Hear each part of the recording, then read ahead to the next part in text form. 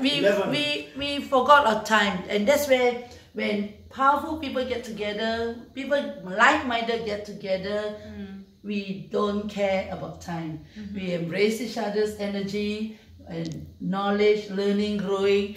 And even before she leave, I want to tell you that when I first met Stella in uh, New York, although we mm-hmm. have met as a customer in our event, but there was like thousands of people. Yeah. Then I had a close contact with her in New York in a smaller group. Mm-hmm. She was one of the speakers. And when she came out the stage, I was shocked.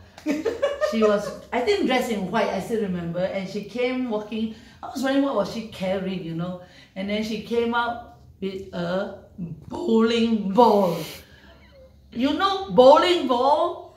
How heavy that is? and she says this that to the extent don't I don't mess with me.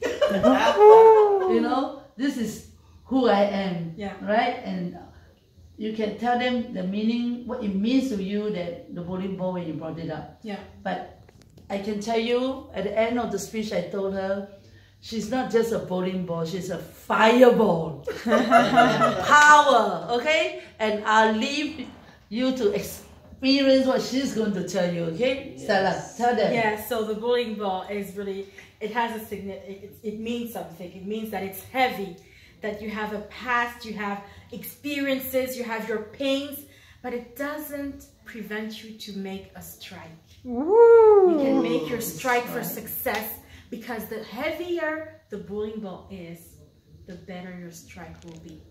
Isn't that amazing? Now, then, mind you, I asked her, did you hire it or you buy the ball in New York? She said, no, I carried that ball all the way from, From Belgium, Belgium to New York. Can you imagine? Yes. That's the kind of persistency, dedication, and commitment that she's not prepared to come without the ball, thinking that she could get a ball from New York, which I know definitely you can, mm. but she's not leaving things to chance. Mm. So I honor you Thank you so much. and for your commitment, your dedication, and to doing what you want to do and.